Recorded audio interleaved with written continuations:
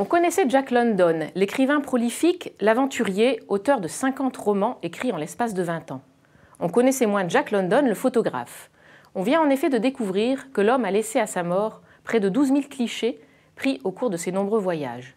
Les bas-fonds londoniens en 1902, la guerre russo-japonaise en Corée en 1904, le tremblement de terre de San Francisco en 1906, la révolution mexicaine en 1914. Jack London a abondamment décrit ces lieux et ces événements on peut désormais découvrir les photographies qu'il en fit à l'occasion. Ces images étaient en sommeil à la bibliothèque Huntington à San Marino et au California State Parks. C'est ici, en Californie, que reposent les albums et les dossiers de travail de l'écrivain américain.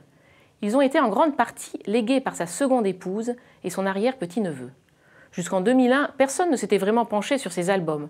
On connaissait juste certains clichés, toujours les mêmes, repris régulièrement pour illustrer ses textes.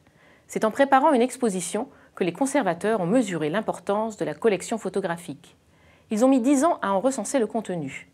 Les photos les plus marquantes sont aujourd'hui révélées dans un livre, Jack London Photographe, publié aux éditions Phébus le 6 octobre prochain. Elles donnent enfin un visage et un contour aux hommes et aux paysages décrits par le grand écrivain.